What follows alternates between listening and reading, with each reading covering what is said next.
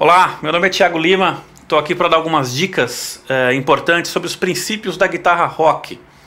Então, é, vamos falar um pouquinho sobre desenvolvimento técnico, desenvolvimento de ambas as mãos, coordenação de ambas as mãos e alguns exercícios de aquecimento também.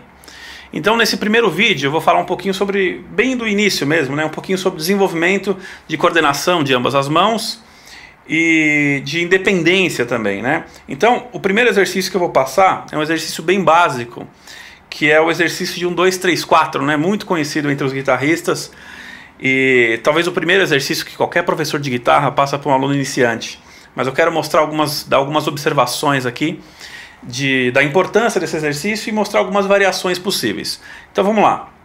Uh, esse exercício consiste em você tocar quatro notas em cada corda uh, posicionando inicialmente um dedo em cada casa para já encontrar uma maneira confortável.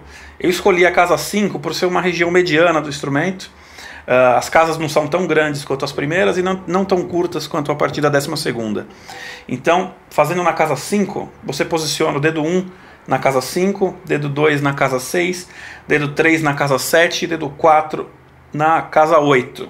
Posicionando assim, notando aqui a, uh, esse vão que é importante ter, esse para você não ficar agarrado ao instrumento, né? Quando você coloca o polegar em cima, isso costuma limitar seu, a sua abertura. Já com o polegar atrás ou bem embaixo, você consegue abrir muito mais, né, a mão.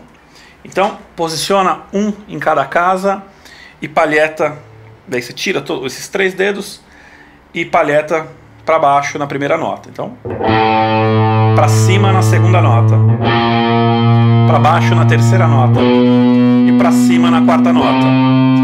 E repete esse mesmo processo em todas as cordas. Então fica assim.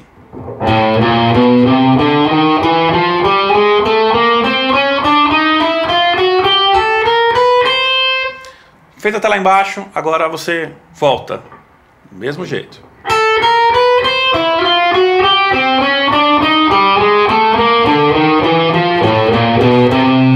Também há um outro jeito de fazer isso, que é trocar de dedo apenas quando houver necessidade de, de executar a próxima nota.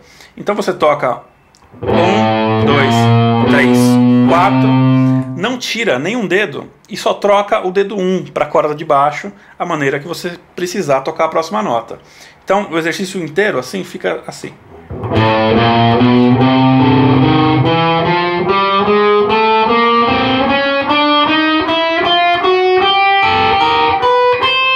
Note que eu precisei trocar, uh, levantar o dedo só quando eu vou precisar dele, quando eu vou executar ele novamente.